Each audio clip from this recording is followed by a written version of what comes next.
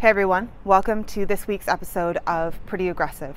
My name is Julia. I run Pretty Aggressive Recovery Coaching. I help people learn to thrive in this life because simply surviving is bullshit. I help people who have been raised with toxic, abusive, poorly bonded, or low nurtured parenting from their youth. And I help people build skills and develop coping mechanisms that are healthy ways for them to build resiliency in this life. Today's episode is going to be about meditation through movement. This is something that I struggled with uh, a lot growing up. Um, I, the environment that I was raised in created a lot of anger within me, and I had a really hard time finding places to express that anger in a healthy way. And sports, activity, and then in my adulthood, going to the gym really helped me um, calm my mind and allowed me to find a place to express that energy in a healthy, productive way instead of a destructive, self sabotaging, or hurtful way to others and myself. One of the one of the biggest and most pervasive stereotypes about meditation is that we need to sit or be still for us to clear our minds, for us to find inner peace, for us to find enlightenment, for us to calm our mind and find stillness with our bodies and ourselves, and that this is the um, dominant way to achieve this um, this Buddhist Zen state. And I struggled for years with sitting meditation. I tried it time and time again.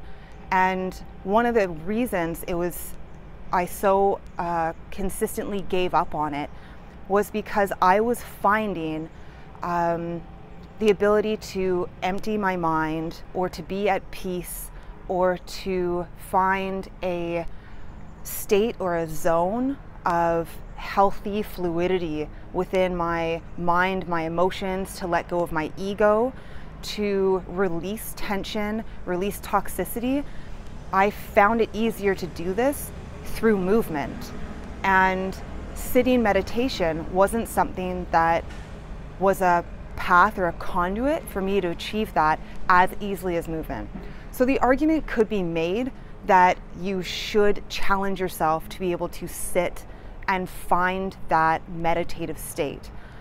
But I believe that this is a wrong way to approach helping someone solve their own unique uh, issues or achieve their own unique heights or potential that it's the same as telling people that there's only one way to educate someone, or there's only one way to train, or there's only one way to eat to optimize your health. That this stereotype that you need to challenge yourself to sit in stillness in order to achieve the most optimal state of meditation is another bullshit stereotype or framework that people try to shove everyone in. And in in a open-minded state, we should be communicating to people that whatever you need to do to reach your place of empty mind or meditative state or at peace with yourself and your environment um, and to be able to live outside your ego for moments in time, that you should be able to do that in any way that one doesn't harm you or other people, but any way that suits you and your body and your mind. We are not all designed the same. And I spent years trying to repetitively, repetitively get into yoga and repetitively get into sitting meditation. And the struggle uh, happened so often and so consistently that the failure started to eat at me until I was finally able to have support from other information, other research, and other communities to understand that that just wasn't for me. And also in in likeness of other ways to succeed, I started reading time and time again from highly successful people that their methods were unique to them and that we should set up our environment for our own personal optimized success. And if movement is a way that you feel more comfortable achieving a peaceful mind state to optimize your thinking, in order to help your day become more successful, in order to um, heighten your awareness of yourself in order to sort through your issues and your problems, do that. Walking a path that someone else has carved and said, this is the path, this is the way, that is actually the opposite of true Buddhist training is that everyone has their own path and their own way, and only you can walk yours. Only you can find it.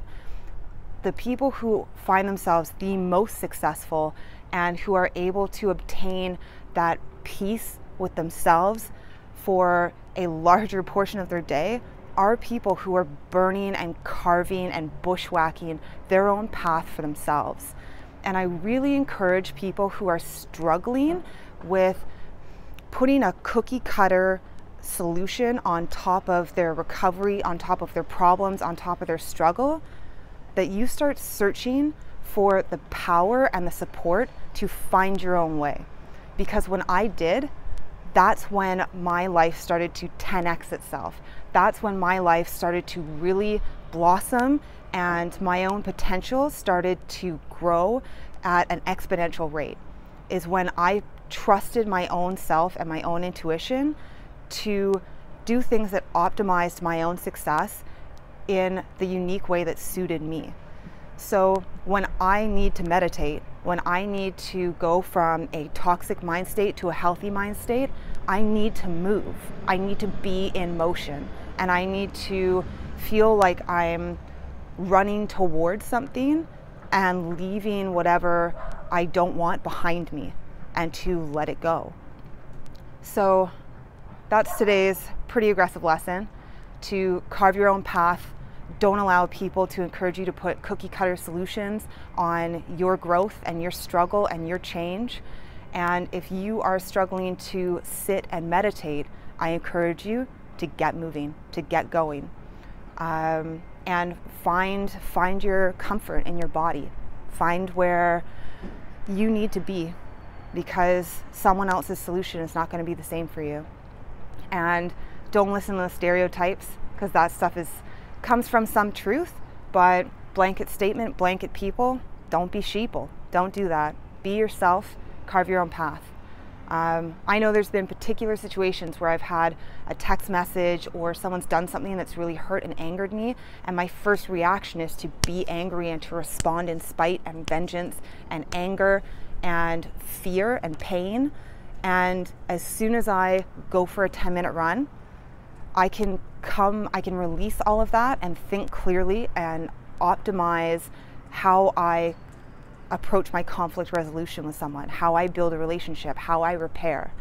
And simply just that one application in life has shown me how much better my life can be if I find my unique way to meditate, if I find a way to have cathartic release, let go of my ego, and have a bigger, better life and move forward with love, with appreciation, with gratitude, with abundance, and with acceptance, fluid acceptance.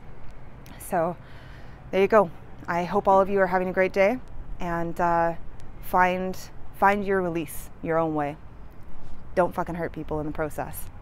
Make sure you have uh, um, willing participants and be one yourself. Be a willing participant in your own life. Put out into the world what you wish to see. Love you all.